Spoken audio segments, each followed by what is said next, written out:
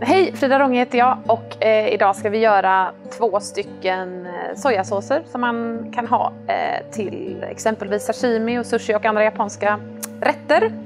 Eh, vi ska börja med att göra en ponzusoja som är absolut en av mina favoritdressingar till eh, just denna typen av mat. Det är alltså en syrad sojasås. Eh, och eh, idag så ska vi eh, syra sojasåsen med eh, yuzu som också är en av mina Citrusfrukter, Det är en japansk citrusfrukt. Eh, soja, sesamolja, eh, ingefära, chili, vitlök och citron. Eh, väldigt, väldigt enkel att göra och egentligen är det bara att blanda ihop allting med rätt proportioner och låta stå i två till fyra timmar ungefär och sen är det klart att börja dippa. Sådär, då ska vi hacka lite chili till den här ponzusojan. Eh, det är ju väldigt bra att smaka av eh, chilin eftersom de har olika eh, typer av hetta. Lite vitlök, där kan man egentligen ta lite efter vad man tycker om själv. Jag brukar ta ungefär en, lite mindre än en klyfta till den här mängden ponzu och eh, färsk skalad eh, ingefära i tunna skivor.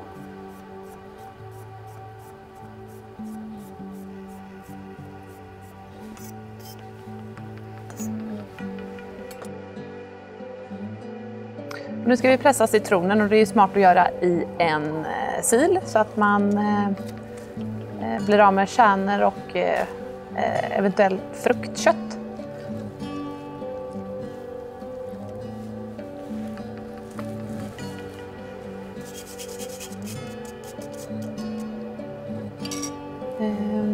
Och sen så ska eh, bara de här resten av ingredienserna i.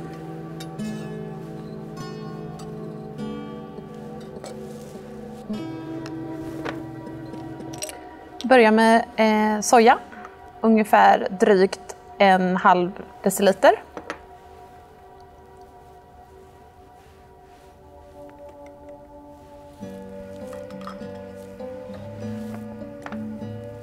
Ungefär en matsked eh, yuzusaft är bra till denna mängden soja.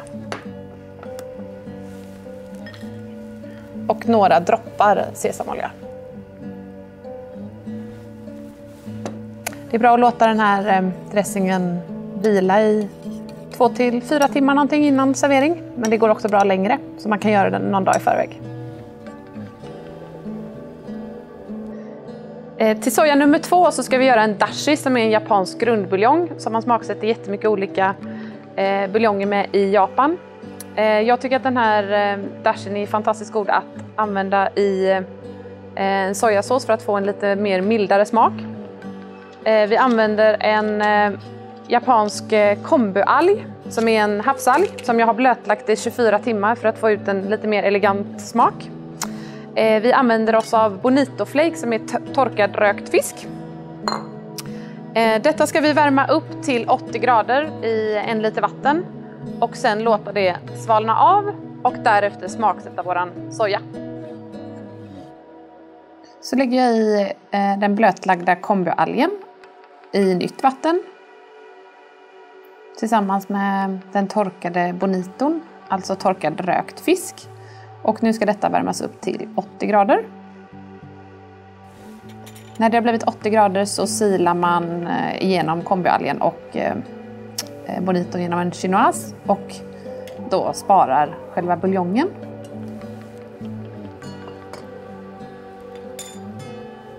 Och den här dressingen, eller eh, smaksatta sojan vi ska göra nu, är egentligen bara soja och dashi.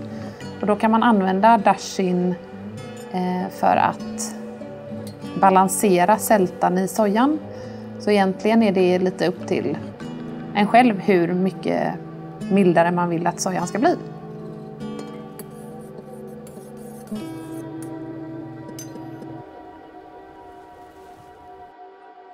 Så där då har vi två stycken superhärliga jätteenkla dressingar till exempelvis sashimi eller annan typ av eh, sallad eller råmat.